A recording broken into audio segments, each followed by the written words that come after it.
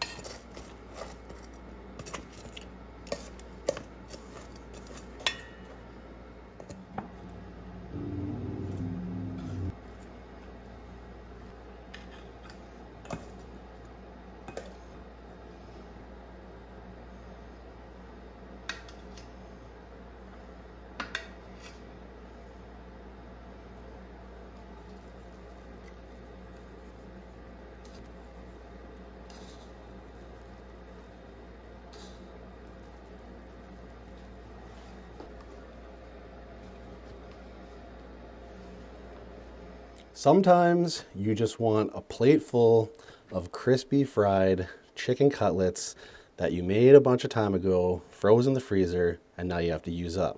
That's today. You saw it semi come together, you saw the saucing of it all. They're kind of blending together, but uh, we got buffalo and we got honey G with some toasted sesame seeds. I'm very excited to eat this. And uh, these are the chicken cutlets that I was talking about in my pasta video the other day that I used some on that I said that I pull out of the freezer as per needed.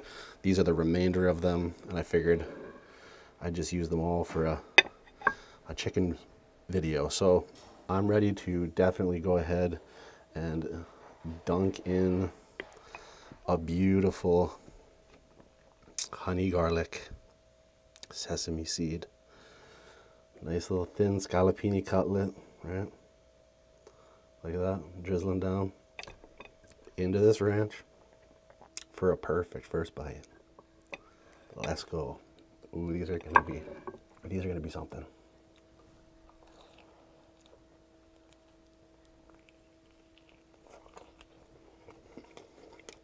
Mm-hmm.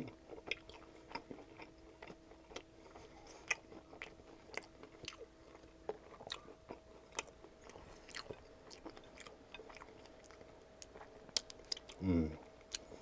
Like I've always said, with my chicken,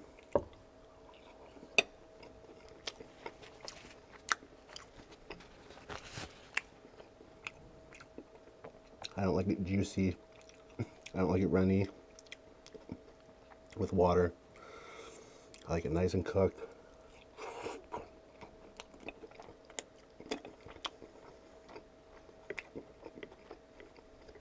And I always let my tenders come down to basically room temp.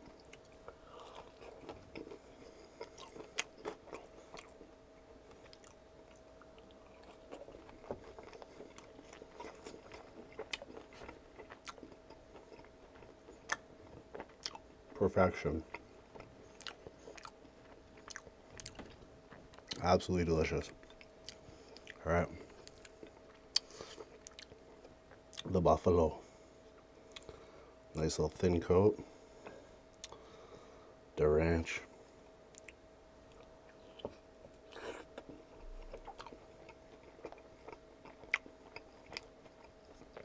Mm, and the bite.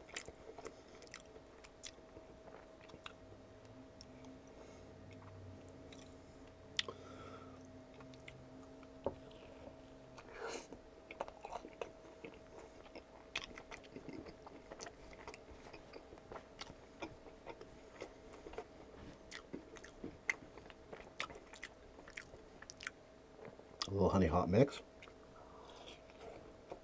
Why not? Drag it through the plate.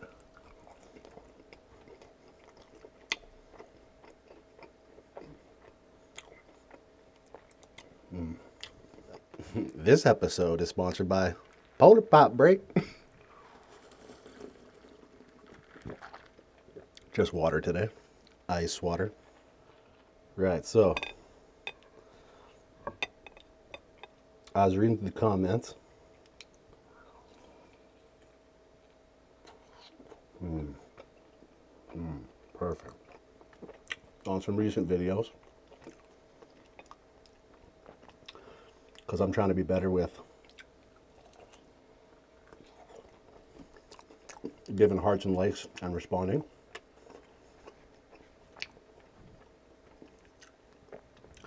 And somebody mentioned, like, they love my vids and stuff, but slow it down, chew your food, bro. You don't chew your food enough, and you're not wrong.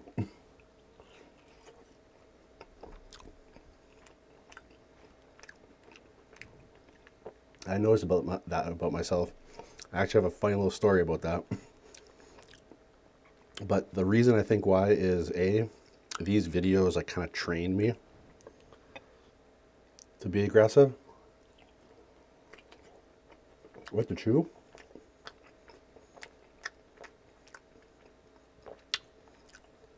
For the storytelling, when I did a lot of storytelling, which also somebody's asking for more stories. Everybody's always asking for stories.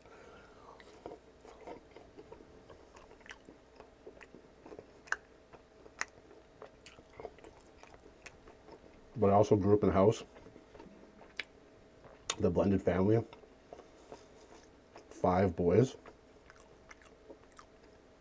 And we were always competing for like, it just, we were savages with eating.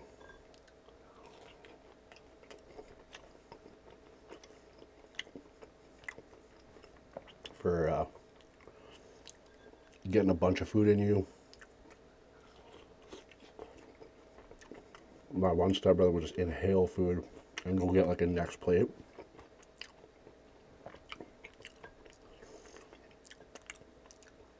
And he didn't want to like go hungry and not get a next plate sometimes. If you were hungry, hungry. But the story I have about this is my first year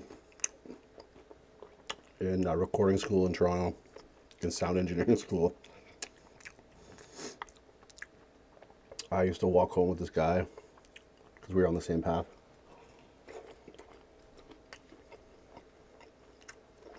And one day we stopped in a subway to grab food together. And we sat at the little stool, the pull up stool by the window. And he got like a six inch veggie sub or something like that.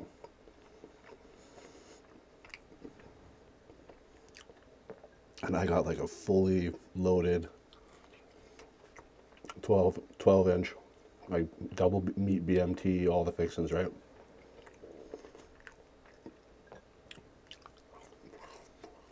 We're sitting there, start eating. We're just talking and shit.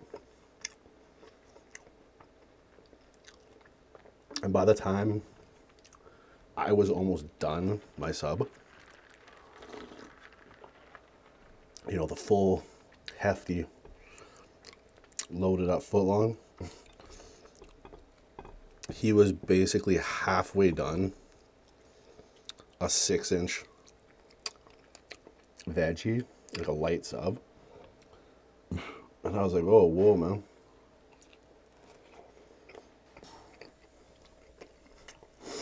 What's taking so long?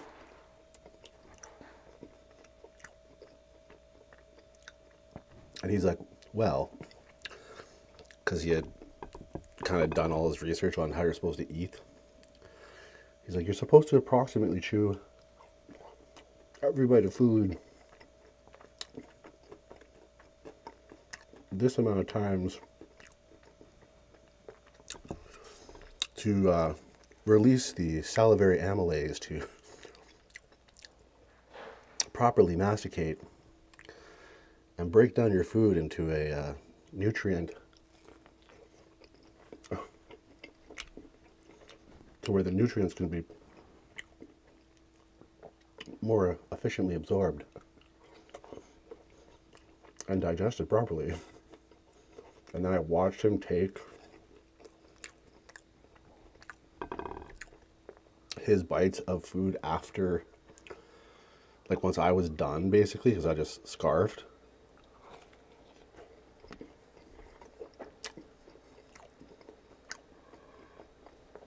And I'm just sitting there talking to him, watching him eat. Pre mukbang, but real life mukbang.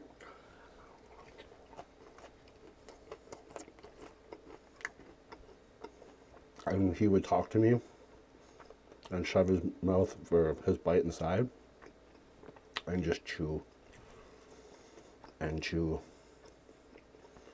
and chew and chew and chew and chew until you know? It was properly masticated. I've always known this about eating that you're supposed to do that.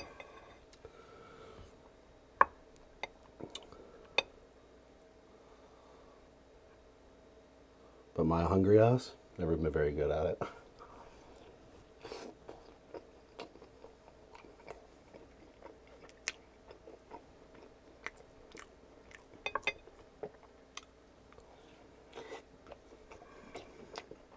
I don't know. It's just like, I feel like I get enough of a couple chews in there and then it's ready to go down the gullet.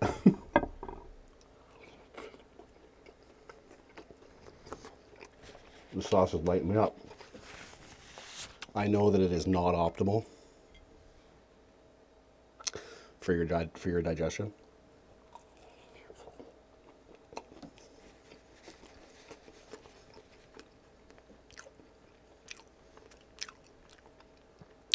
And I don't have the most fantastic digestion, but I have very speedy digestion. Let's just say I don't have a constipation problem. Perhaps the opposite.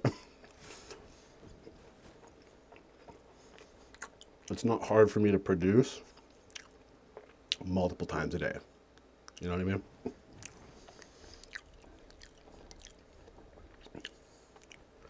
So things run through me, which would indicate my microbiome probably not optimal.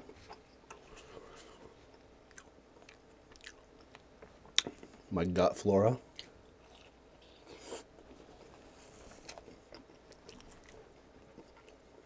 Probably not the greatest.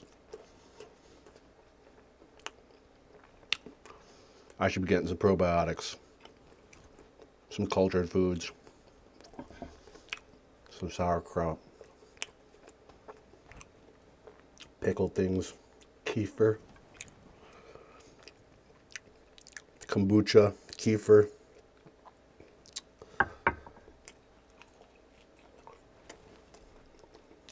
And all the pickled things. But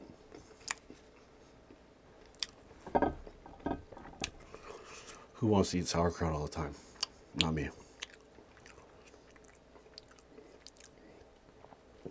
Almost never, in fact.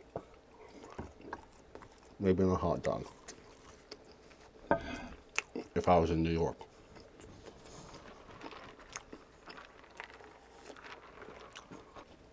I know these things. I just don't practice them. Suppose I should start.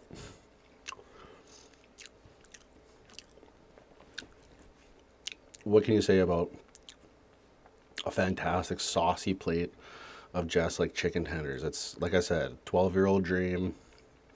That's, you know, what my palate is. It's, it's a 12 year old's dream. I love chicken tenders. I don't know how long, how you could go wrong with a nice fried piece of chicken with some sauce. It's just, it's always good. It's a mainstay staple for a reason. It's never not good. Right? Pretty much. Pretty usually it's hard to screw up. All right. Hope you enjoyed it. Till the next one, you know what to do. Eat good, live well, eat plates of chicken, finger tenders, scallopini things, and stay true.